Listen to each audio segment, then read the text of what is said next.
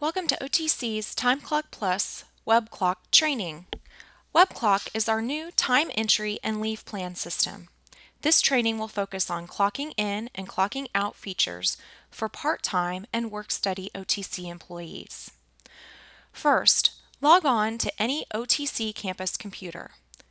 Locate the web clock icon on your desktop and double left click.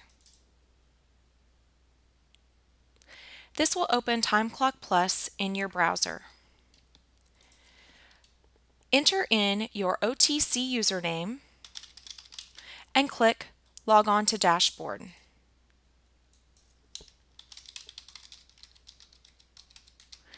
Enter in your OTC password and click Log On. To clock in for the day, simply click on Clock In.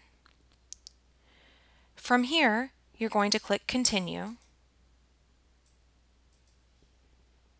Continue, and OK.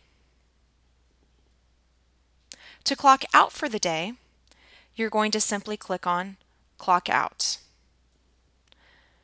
Then click Continue. This will bring up your messages from your manager for the day. Click Continue and OK.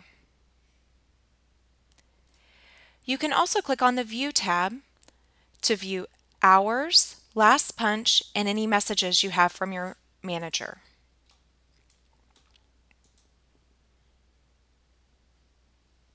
When you are finished, click on the Log Out button in the upper right corner of your screen.